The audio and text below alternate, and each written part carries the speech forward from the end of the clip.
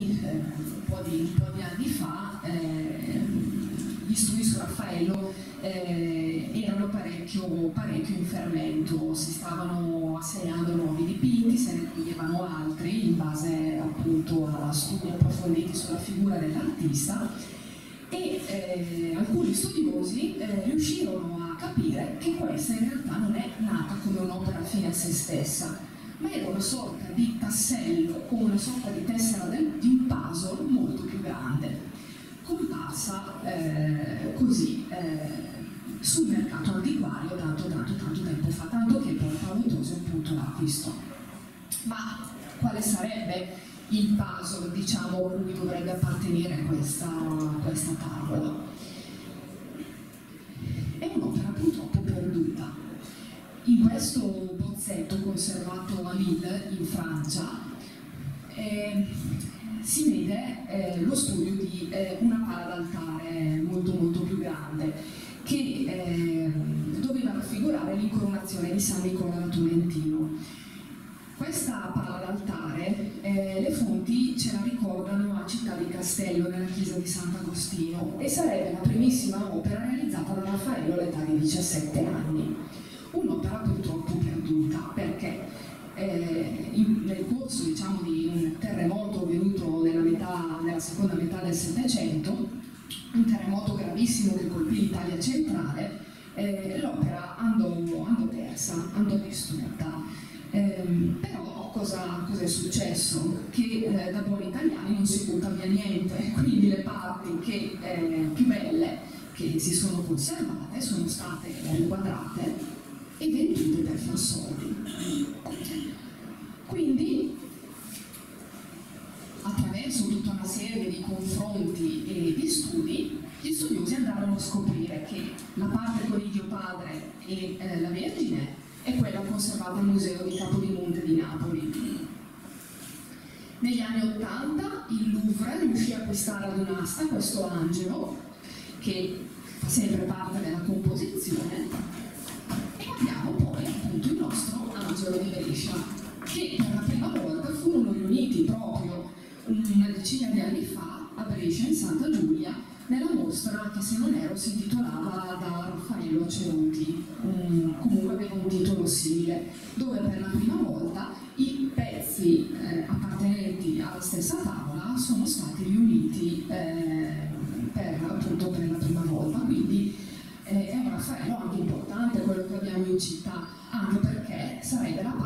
primissima opera realizzata dall'artista quando aveva 17 anni. A Brescia però abbiamo un altro Raffaello, che è questo Redentore Benedicente, che è un'opera però più tarda dell'artista. Gli studiosi la datano all'incirca intorno al 1505-1506, nel periodo in cui il nostro eh, Raffaello si trovava a Firenze. Infatti questo dipinto, eh, soprattutto per quanto riguarda il modellato e l'introspezione psicologica del volto, dimostra un'adesione al linguaggio leonardesco. Sono gli anni infatti in cui Leonardo si trova a Firenze e Raffaello è attestato che guarderà molto al pittore, al pittore fiorentino. E questo fu un acquisto molto problematico eh, da parte di Paolo Tosio, che va anche sottolineare la perseveranza che aveva eh, per, sul mercato per ottenere queste opere. Entrerà nel 1821, stesso anno dell'Angelo, ma le trattative partirono nel 1819, quindi ben tre anni prima. In questo caso un ruolo fondamentale Teodoro Lecchi, grande amico di Paolo Tosio, che lo sguizzagliava un po' qua e là eh, in varie parti d'Italia per andare a caccia così di tesori. E a Milano, eh, nella dimora dei Marchesi Mosca di Pesaro, eh, trasferitesi appunto eh, dalle Marche a Milano, vede questo Raffaello. Quindi sapendo dell'amore che Paolo Tosi aveva verso questo artista, lo informa immediatamente e partono le trattative. Però i marchesi eh, sono disposti a cedersi il Raffaello per far soldi, non navigavano sicuramente in buone acque, ma a patto che Paolo Tosio comprasse anche altre due opere. Una Madonna del Rosario del Cantarini, che è sempre esposta in Pinacoteca vicino a Raffaello, proprio a testimonianza di come quest'opera sia arrivata insieme al Cristo di Raffaello e ad una Madonna dei Garofani data sempre a Raffaello. Bene, dopo lunghe trattative Paolo Posio riuscì ad acquistare il Raffaello e per forza di cose anche gli altri due dipinti. Vediamo qui la Madonna dei Garofani. Eh, in merito a questo dipinto ci furono fin da subito dubbi sulla paternità dell'artista. Eh, si sapeva già eh, a inizio Ottocento che Raffaello aveva realizzato diverse copie di, di quest'opera e quindi eh, il dubbio che fosse un vero e proprio Raffaello eh, c'è sempre stato. Anche se Paolo Tosio amava molto questo dipinto, tanto che nei suoi eh, inventari compare sempre con la voce di Madonna Piccola, proprio perché aveva anche una devozione affettiva verso questo dipinto. Un po' di anni fa però eh, i nodi sono venuti al pettine perché alla National Gallery di Londra viene fatta una mostra su Raffaello e come potete vedere nel museo della capitale britannica è conservata un'altra Madonna dei Garofani che è praticamente identica a quella presente a Brescia.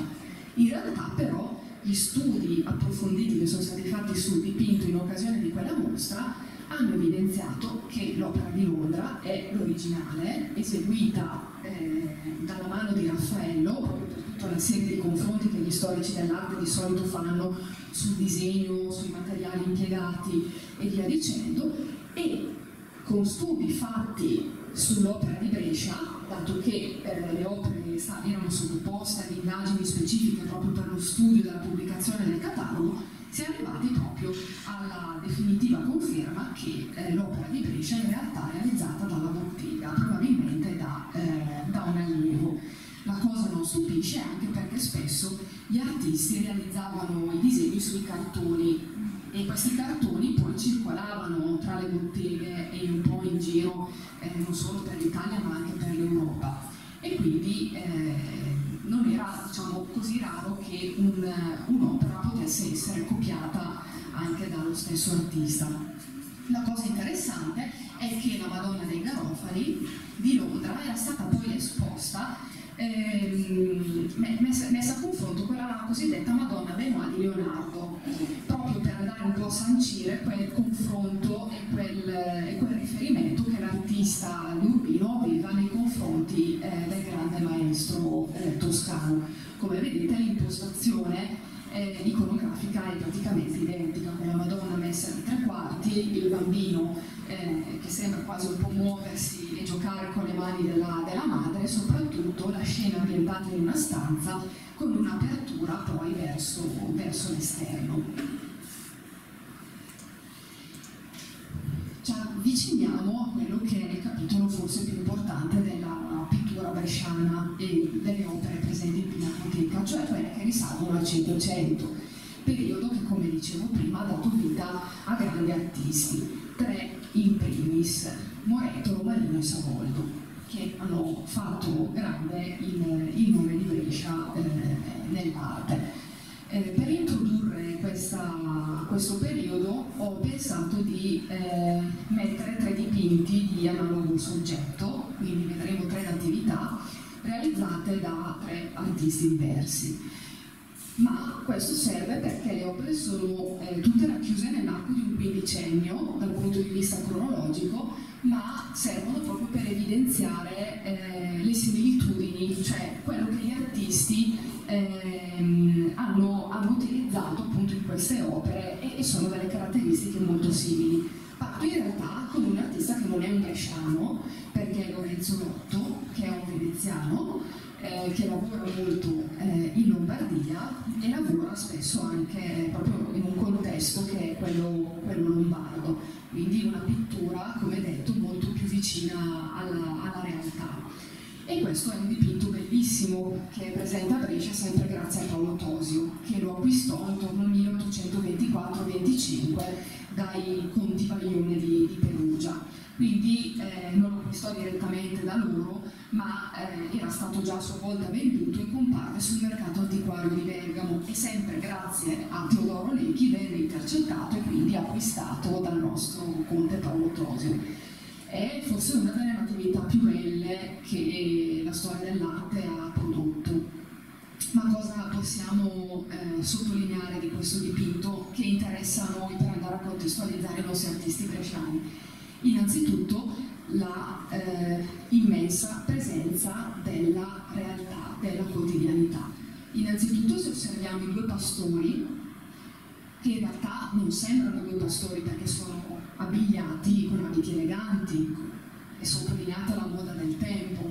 sono probabilmente due committenti, quindi due esponenti della famiglia Baglione. E questo lo possiamo immaginare proprio anche dalla cura della, del volto, della fisionomia, si tratta di ritratti, si vede come siano accurati, personalizzati e qui siamo un primo passo verso quella che è la pittura della realtà, cioè rappresentare il vero.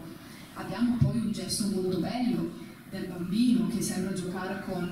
il musetto dell'agnello, che è un gesto di quotidianità, ma che racchiude però anche un valore simbolico molto forte. L'agnello è simbolo della passione di Cristo, quindi Gesù, bambino, è come se stesse già giocando con quello che sarà poi il suo drammatico futuro. Ambientata in una stalla, in un edificio chiuso, illuminato solo dalla luce crepuscolare che entra dalla finestra, vediamo un'anda aperta,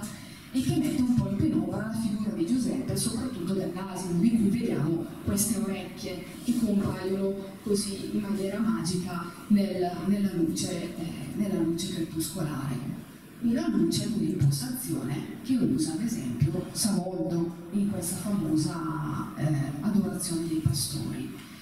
Eh, qui siamo ancora più dentro quella che è la rappresentazione della realtà, della quotidianità. Innanzitutto Giuseppe, ma soprattutto Maria, sembrano due popoliani, due contadini, non sono due figure caratterizzate da un'aurea di qualcosa di, di, di, santo, di mistico, sembrano due persone qualunque, prese proprio così dalla strada.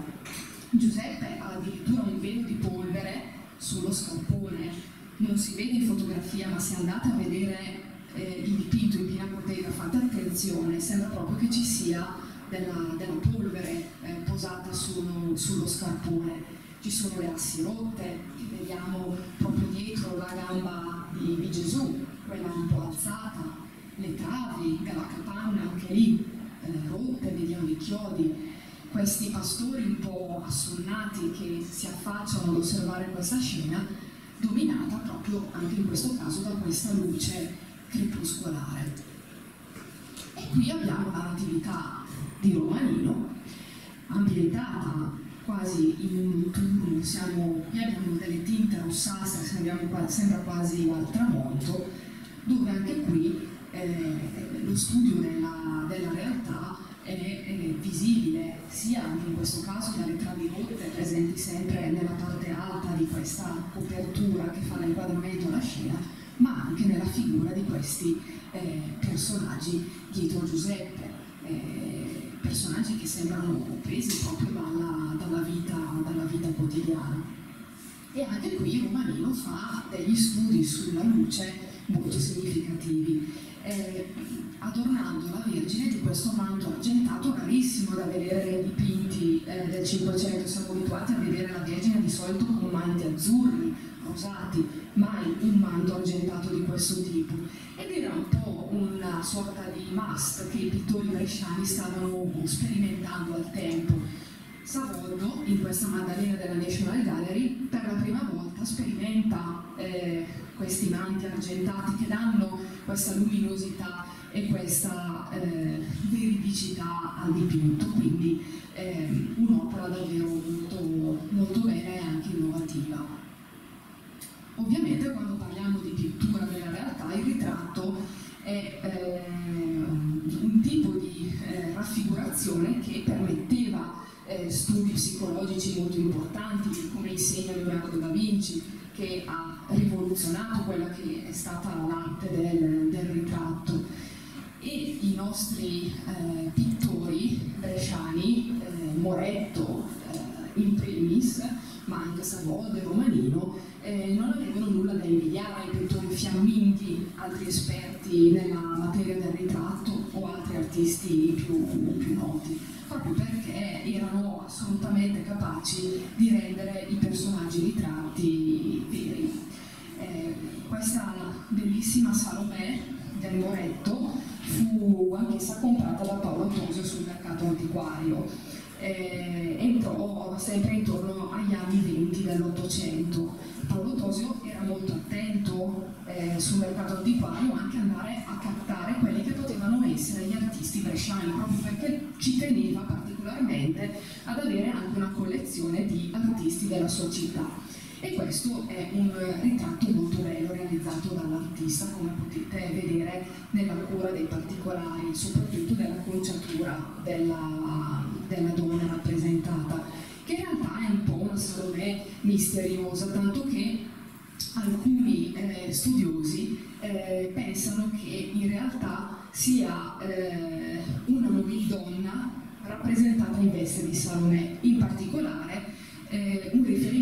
riferimento a Tulia d'Aragona, eh, poetessa e cortigiana, eh, rappresentata proprio in veste di Salomè, visto eh, questi rapporti turbolenti che aveva soprattutto con il genere maschile. Come sapete Salomè è nota per aver appunto ehm, decapitato il Battista, quindi eh, è un dipinto che sembra custodire dei, dei, dei segreti più, così, più, più, profondi e soprattutto è messo in relazione con un altro eh, dipinto realizzato da Moretto che è questo ritratto di gentiluomo che però alcuni lo vedono in correlazione con la Salomè vista prima perché potrebbe essere la raffigurazione di Bernardo Tasso, padre del famoso Torquato con cui Lucrezia da, eh, con cui Tullio d'Aragona aveva avuto una relazione molto movimentata e quindi eh, si è ipotizzato insomma, che questi due dipinti potessero essere in un certo senso correlati l'uno con l'altro. Anche in questo caso vedete come eh, si tratta di un dipinto molto bello dal punto di vista qualitativo, soprattutto per quanto riguarda la cura delle vesti. A Moretto va anche attribuito però un merito è il primo artista ad aver realizzato un ritratto figura intera. Questo dipinto meraviglioso purtroppo non si trova a Brescia ma a Londra, alla National Gallery, ma veramente eh, una svolta nella storia dell'arte proprio perché eh, da lì altri artisti, come ad esempio Moroni, altro grande artista bergamasco noto per la ritrattistica, ma anche Tiziano, iniziarono poi a portare nella storia dell'arte il ritratto figura intera. Noi siamo abituati sempre eh, a vedere eh, l'evoluzione del ritratto è stata un po' da quello medievale visto di profilo a ritratti poi a busto, siamo partiti poi con Leonardo quando ha rivoluzionato un po' la tipologia impostando le figure a tre quarti, fino ad arrivare poi ad un esito davvero altissimo, merito di un nostro, eh, per così dire, concittadino. Come detto, anche Moroni era un grande ritrattista, infatti il nostro Paolo Tosio voleva assolutamente avere opere di questo pittore nella sua, nella sua collezione, proprio perché era assolutamente in grado di realizzare oh, ritratti di una veridicità assoluta. E qui ne ho messi due, questo ritratto di dottore di letterato, che come potete vedere sono assolutamente di qualità, di qualità notevole notate sempre questa attenzione alla realtà con questi, questo così, inserto naturalistico eh, molto, molto veritiero, molto realistico con questi ciuffetti d'erba che sembrano spuntare qua e là dalla, dall'architettura di inquadramento presente sullo sfondo. E chiudendo la sezione da ritratto non si può far vedere forse uno dei dipinti, dei ritratti più noti presenti nella Pinacoteca Toso Martinello, che è il suonatore di flauto di Savoldo. Eh, un'opera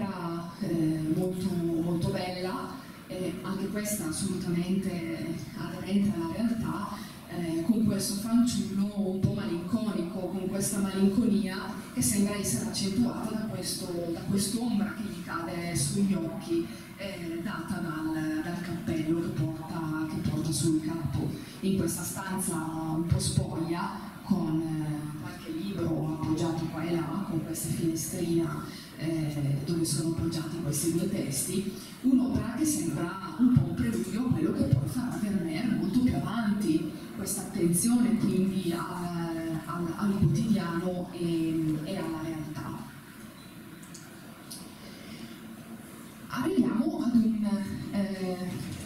punto cruciale della Pinacoteca Toso Martinengo, le grandi pale d'altare, quindi quelle opere che il comune aveva salvato eh, dalle varie soppressioni e dalle distruzioni eh, che erano avvenute per il riassesto urbanistico della città. È la sala più grande della Pinacoteca, è una sala immensa dove sono raccolte tutte le grandi pale d'altare eh, più importanti realizzate eh, soprattutto da Moretto Romanino. È un po' una carrellata che facciamo soffermandoci su eh, alcuni particolari delle, delle varie opere. Questo è, è, un'opera che è romanino realizzato nel 1550. Siamo quindi ormai a un romanino tardo, verso la fine della sua carriera. Un'opera che è realizzato per il convento di San Domenico a Brescia, purtroppo è andato distrutto, una struttura che non esiste assolutamente più. Ed è un romanino più classico rispetto a quello che si è abituati a vedere e che avremo modo di conoscere poi nei, nei prossimi incontri forse è dato dalla committenza religiosa, eh, in particolare domenicana, che era eh, piuttosto severa nei canoni eh, realizzativi, o forse anche perché ormai un romanino stanco, che non ha più bisogno di, di sperimentare, un romanino diverso rispetto a quello che possiamo vedere in questi due affreschi strappati che provengono dall'abbazia oledetana di Rodeni di Saiano, dove abbiamo la cena in casa del fariseo sulla sinistra e la cena in Emmaus sulla destra siamo intorno agli anni 30 del Cinquecento. È un romanino in fuga, eh, a Brescia non ha spazio, Moretto è più apprezzato dalla committenza di un certo livello, dalla committenza ecclesiastica, perché Moretto è un pittore eh, estremamente classico, che sta nei canoni, eh, Romanino eh, viene spesso cacciato eh, nei posti dove, dove, si va a rifugiare, a Cremone è iniziato la decorazione del Duomo e viene mandato via. Eh, va alla Brescia, però si sente alle strette e proprio negli anni 30 inizia quella che è la sua migrazione verso terre lontane. Lavora all'abbazia di Nodengo, eh, si sposta poi a Trento, al Castello del Buon Consiglio, dove anche lì realizzerà una decorazione vastissima, ma spesso bacchettato dal, dal vescovo signore della città Bernardo Clesio, anche perché insomma Romanino eh, spesso azzappa un po' troppo nelle sue raffigurazioni. E quando nella loggia realizza una Lucrezia che sta scappando col seno scoperto, il vescovo va in escandescenza perché dice insomma è pur sempre una dimora di un vescovo, quindi insomma tutti questi nudi che Romanino dipingeva qua e là non erano particolarmente apprezzati. E poi è Romanino che dopo Trento inizia il suo percorso in Val Camonica, quindi è eh, assolutamente nella fase della sperimentazione e vedete un po', se osserviamo da vicino alcuni particolari, come sia la fase in cui Romanino adotti una pittura molto veloce. Eh, Romanino non disegnava, dipingeva direttamente sull'intonaco fresco e possiamo vedere proprio come eh, certi particolari fisionomici andavano assolutamente a prendere un maggiore, un maggiore risalto. Il profilo del, eh, del servitore eh, della cena in Emmaus è secondo me è davvero molto, molto bello, proprio assolutamente caratteristico. Qui ad esempio invece abbiamo un'opera di Moretto, eh, lo stendardo realizzato per eh, la confraternita del Duomo Vecchio sulle, eh, appunto sulla, sulle reliquie eh, delle Sante Croci. Eh, un'opera che come vedete ha un'impostazione più, più classica, ehm, dove è raffigurato eh, San Faustino e Giovita che sostengono quindi il famoso, il famoso reliquiario. Qui abbiamo un'altra opera di Moretto, eh, la Paravelli, così chiamata proprio perché è raffigurato eh, San Nicola eh, di Bari che presenta i pargoletti della famiglia Rovelli ed è un dipinto assolutamente molto importante perché abbiamo un cambiamento dal punto di vista dell'impostazione eh, della, della, scena. E qui vediamo il primo confronto, il primo sguardo eh, dell'artista verso quello che offriva la pittura veneta. Come potete vedere, il dipinto ha strette analogie con quest'opera di Tiziano. La Pala Pesaro conservata nella Basilica dei Frari a Venezia. Tiziano infatti fa per la prima volta una sperimentazione importantissima. Sposta la Madonna con bambino dal centro della composizione, di solito siamo abituati a vederla al centro su un trono un po' rialzato, sposta quindi l'asse della raffigurazione sulla destra, mette la Madonna con bambino in una posizione apparentemente decentrata e lascia tutto lo spazio con una diagonale che scende dal capo della Vergine andando verso il basso all'impostazione scenica dei personaggi. Una cosa rivoluzionaria che non si era mai vista prima. E Moretto, che era molto attento a ciò che faceva Tiziano, come sapete già prima eh, di quest'opera, intorno alla, alla, prima metà del Cinquecento, eh, lui sperimenterà eh, le lezioni che eh, Tiziano ha dato dell'assunta, della famosa assunta di San, sempre conservata alla Basilica dei Frari, per l'assunta che invece Moretto realizza per il Vecchio. Quindi è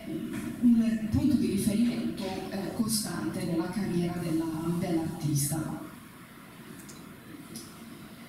e qui invece abbiamo un'altra opera di Moretto, un'adorazione dei pastori molto bella, in cui l'artista unisce il eh, linguaggio veneto, trasmesso soprattutto dal cromatismo acceso, dai colori sgargianti, vedete le vesti rosse degli angeli, quella della, ehm, della serva che aiuta eh, Maria eh, a sostenere il bambino, piuttosto che le vesti azzurre e gialle degli altri personaggi, una eh, quindi eh, così, eh, modernità veneta contrapposta a quella realtà, adesione alla realtà realismo presente nella, nella pittura lombarda e bresciana. Se osservate bene questa cesta di panni messa eh, in primo piano, ehm, è eh, davvero una natura morta, se così potremmo definirla, spagolitiva. Roberto Longhi eh, definì eh, questo dipinto di Moretto in particolare, questa natura morta di stracci, un preludio alla pittura di Caravaggio. È noto che Caravaggio, come detto prima, guardò alla pittura lombarda, in particolare a Moretto Romanino, i nostri bresciani, proprio per questo realismo che riuscivano a portare in pittura. Questa è forse una delle opere più belle che Moretto abbia mai realizzato. È sicuramente un unico nella storia dell'arte, perché non abbiamo eh, una cosa simile. Nessun artista realizzò mai un'iconografia di questo tipo. Eh, questo Eceromo, eh, in cui eh, c'è questo gioco di linee diagonali eh, una composizione assolutamente innovativa con il Cristo seduto su questa scalinata, eh, è qualcosa di, di eccezionale, dove eh, in una sorta di rigore compositivo va a contrapporsi eh, la tonalità fredda dei, dei grigi utilizzati, dei bianchi, oltre all'intensa psicologia presente sia nella figura eh, di Cristo ma anche dell'angelo che sembra trattenere un urlo di dolore eh, di fronte a quello che ormai è il destino di, di Gesù Cristo. Quindi un'opera davvero assolutamente sensazionale. E ancora hanno letto con questa Pentecoste, siamo ormai intorno alla metà del Cinquecento, inoltrato, eh, un Moretto che ormai guarda anche le novità manierista e eh, soprattutto eh, possiamo vedere come l'architettura presente nello sfondo richiama un po' ad esempio ciò che Giulio Romano aveva fatto a Palazzo Te a Mantova. Se avete visitato Palazzo Te vi ricorderete ad esempio queste architetture eh, che sono un tributo sicuramente all'opera di Giulio Romano. È un moretto che guarda anche a, ad esempio a ciò che Raffaello aveva fatto nelle stanze vaticane, vedete come i personaggi siano plastici, è un Moretto che conosce Raffaello, che conosce Michelangelo, sono opere piene di plasticismo e questa volta sarà Tiziano a copiare il nostro artista. Non è stato il contrario, ma è un po' un tributo che Tiziano fa al nostro, al nostro Moretto. Eh, l'impostazione, come potete vedere, dell'opera è, è molto, molto, simile, quindi è eh, un chiaro tributo che l'artista ha fatto eh, al nostro pittore. Moretto morirà nel 1554. Ehm, siamo, eh, inizia quindi un periodo un po' decadente per la pittura eh, bresciana, muore, Moretto, morirà Romanino, eh, entrambi per varie motivazioni non sono riusciti a lasciare una scuola, eh, qualcuno che eh, seguisse il loro linguaggio. Moretto